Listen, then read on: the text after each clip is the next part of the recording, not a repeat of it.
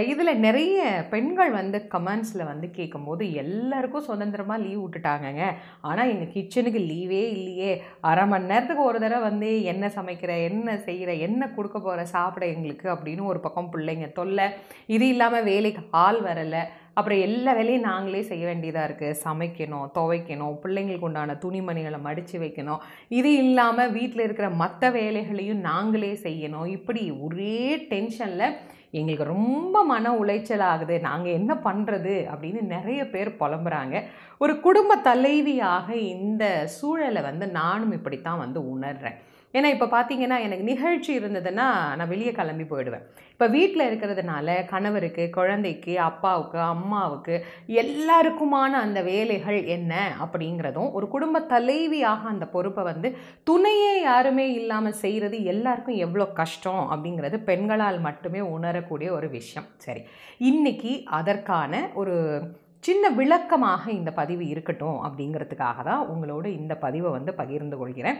முதல்ல இது யாரிலிருந்து நம்ம ஆரம்பிக்கணும் அப்படின்னா வீட்டில் இருக்கக்கூடிய ஆண்கள்லேருந்து இதை ஆரம்பிக்கணும். கணவன்மார்கள் எல்லாருக்குமே வந்து எல்லாரும் நிறைய பேர் சொல்லியிருப்பாங்க.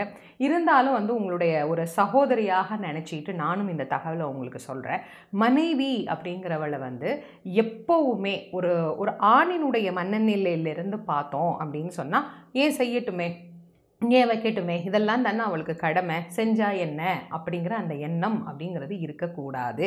சரிசமமாக எல்லா வேலைகளையும் பகிர்ந்து கொள்ளுகிற போது அவர்களுடைய மனபாரம் அப்படிங்கிறது ரொம்ப ரொம்ப குறையும். ஒரு கணவனாக இருந்து நீங்கள் யோசிச்சு பாருங்கள் நமக்கு ஒரு இடத்துல வேலை இருக்குது அந்த வேலையெல்லாம் நம்ம முடிச்சிடுறோம். இப்போ ஒர்க் அட் ஹோமு வேலையெல்லாம் முடிச்சிடுறோம். மிச்சம் இருக்கிற நேரத்தில் மனைவியோட கொஞ்சம் நேரத்தை பகிர்ந்து கொள்ளலாம். நீங்கள் செய்கிறீங்களோ இல்லையோ செய்யவா அப்படின்னு கேட்டாலே மனைவிக்கு வந்து அது ரொம்ப ரொம்ப மன மகிழ்ச்சியாக இருக்கும். நான் கொஞ்சம் காய்கறி நறுக்கி தரட்டா? என்னால் உன்ன மாதிரி அழகாலாம் செய்ய முடியாது. ஏதோ என்னால் முடிஞ்ச வரைக்கும் நான் அதை கட் பண்ணி கொடுக்குறேன் அப்படின்னு வாங்கிக்கலாம்.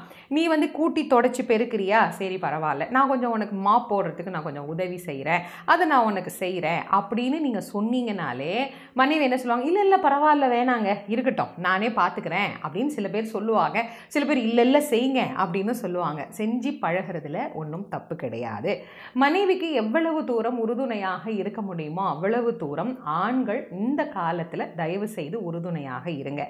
இன்னொரு விஷயமும் நீங்கள் வந்து தெளிவாக தெரிஞ்சுக்கணும். இந்த வீட்டினுடைய செங்கோல்னு பார்த்தீங்கன்னா இப்போல்லாம் வந்து டிவி ரிமோட்டு தான். எல்லாரும் ஆளுக்கு ஒரு சேனல் பார்த்து அவங்கவுங்களுக்கு என்ன பிடிக்குதோ அதெல்லாம் பார்த்துக்குவாங்க.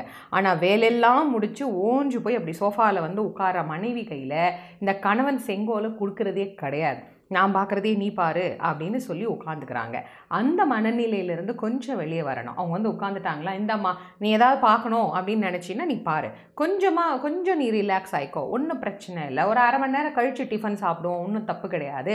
அப்படின்னு நாலு ஆறுதலான அன்பான வார்த்தைகளை நீங்கள் பேசினீர்களே ஆனால் கண்டிப்பாக உங்களுடைய மனைவி மிக மிக மகிழ்ச்சி அடைவார் ஒரு இறுக்கமான சூழலில் அவங்க இருந்துக்கிட்டே இருக்கிறாங்க. பல ஆண்களுக்கு இப்போ தான் புரியும் வீட்டுக்குள்ளே இருக்கிறது எவ்வளோ கஷ்டமான வேலை அப்படிங்கிறது இல்லையா? வாழ்நாள் முழுக்க அவங்க அப்படி தான் இருக்கிறாங்க. அப்படி இருக்கிற போது அவர்களை கொஞ்சம் கணவன்மார்கள் அனுசரித்து செல்லணும் அப்படிங்கிற இந்த விஷயத்தை ஞாபகம் வச்சுக்கணும். அடுத்ததாக வீட்டில் இருக்கக்கூடிய குழந்தைங்க. குழந்தைங்க அப்படின்னு நான் குறிப்பிடக்கூடிய எல்லா வயது குழந்தைகளும் தயவு செய்து அப்பா அம்மாவினுடைய சூழலை கொஞ்சம் புரிஞ்சுக்கங்க. உங்களுக்காக தான் அவர்கள் வாழ்ந்து கொண்டு இருக்கிறார்கள் அதனால் அப்பா அம்மாவை எவ்வளவு தூரம் பாதுகாப்பாக வச்சுக்க முடியுமோ எவ்வளவு அன்பாக அவர்களை அரவணைத்து செல்ல முடியுமோ குழந்தைங்க அதை புரிஞ்சுக்கிட்டு அன்பாக அரவணைத்து செல்லுங்க. என்ன இதுதான் இன்றைக்கி டிஃபனா இதே தினம் செய்கிறீங்களே எனக்கு இது பிடிக்காது. எனக்கு ஸ்நாக்ஸ் வேணும் எனக்கு அதுதான் வேணும் எனக்கு அந்த பிஸ்கெட் தான் வேணும் எனக்கு அப்படி சிப்ஸ் இருந்தால் தான் நான் சாப்பிடுவேன். அப்படின்னு தயவு செய்து அடம் பிடிக்காதீங்க. என்ன கொடுக்குறாங்களோ சாப்பாட்டுக்கே வழி இல்லாமல் நிறைய பேர் கஷ்டப்படுற சூழலில் நம்ம குடும்பத்தில் இதுவாது கிடைக்குதே அப்படிங்கிற அந்த ஒரு மன திருப்தியை குழந்தைங்க தயவு செய்து கற்றுக்கங்க டீனேஜில் இருக்கிற குழந்தைகளுக்கு இப்போ நான் வரேன். இந்த டீனேஜில் இருக்கிற குழந்தைங்க தயவு செய்து அம்மாவினுடைய கஷ்டங்களை புரிஞ்சுக்கோங்க. அது ஆண் குழந்தைகளாக இருந்தாலும் சரி பெண் குழந்தைகளாக இருந்தாலும் சரி தாயாரோடு தங்களுடைய வேலைகளை பகிர்ந்து கொள்ளுங்கள். அப்பாவே வீடு தொடங்கிறாரு நீங்கள் ஒரு துணி மடித்தா என்ன? உங்கள் துணியெல்லாம் கொண்டு நீங்கள் ஒரு மிஷினில் போட்டால் என்ன?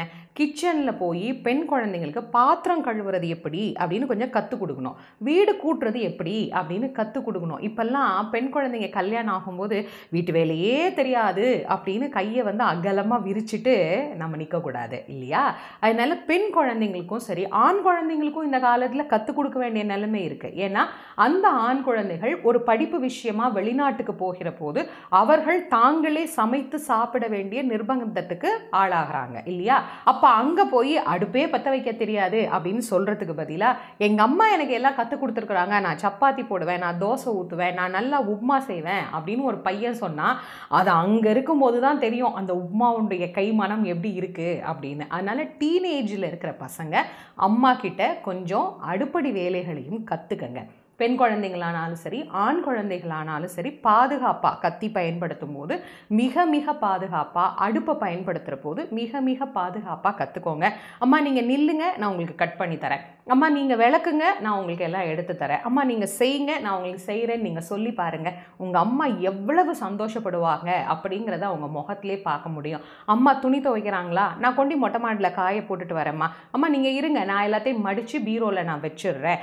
என்ன வேலை உங்களால் முடியுதோ தயவு செய்து அம்மாவோட டீனேஜ் பசங்க பகிர்ந்து கொள்ளுங்கள். இப்போ நான் பெண்கள்கிட்டே வரேன். ஒரு குடும்ப தலைவியாக இந்த காலத்தை கழிப்பது அப்படிங்கிறது உண்மையிலேயே ரொம்ப ரொம்ப கடினமான ஒரு விஷயந்தான் சில பேருக்கு. சில பேர் வந்து சொல்கிறாங்க இல்லைங்க எங்களுக்கு இது எப்போதும் போல் வழக்கமாக தான் இருக்குது இது நாங்கள் பழகி போன ஒரு விஷயந்தான் எங்களுக்கு ஒன்றும் இது அவ்வளோ கஷ்டமாக இல்லையே அப்படிங்கிறவங்களுக்கான பதிவு இது கிடையாது. மனதளவில் கொஞ்சம் சோர்ந்து போகிறவர்களுக்கான பதிவாகத்தான் நான் இந்த பதிவை உங்களுக்கு கொடுத்துட்ருக்கிறேன். இப்போ பெண்கள் கொஞ்சம் யோசிங்க ஒரு ஆண் வந்து இந்த நேரத்தில் மனதளவில் ரொம்ப பாதிக்கப்பட்டிருப்பார். ஏன்னா அன்றாடம் நிறைய பணம் வச்சுருக்கிறவங்க அடுத்த மாதம் இல்லைன்னா நாலு மாதம் கூட சமாளிக்கலாம் அப்படிங்கிறவங்களை எல்லாத்தையும் விட்டுடுங்க.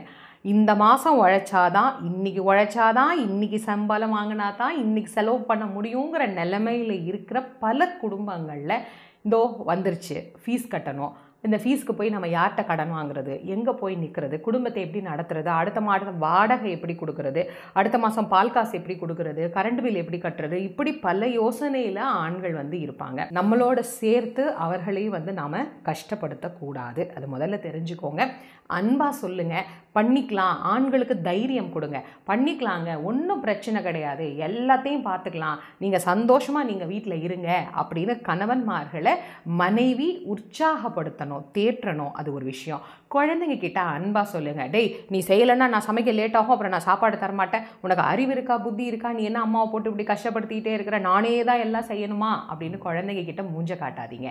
குழந்தைங்க கிட்ட அன்பாக சொல்லுங்கள் தங்கம்ல என் ராஜாவில் கொஞ்சம் அம்மாக்கு ஹெல்ப் பண்ணுப்பா அப்படின்னு கேட்டால் எந்த குழந்தையும் கண்டிப்பாக செய்யும். எந்த குழந்தையும் நல்ல குழந்தை தான் மண்ணில் பிறக்கையிலே.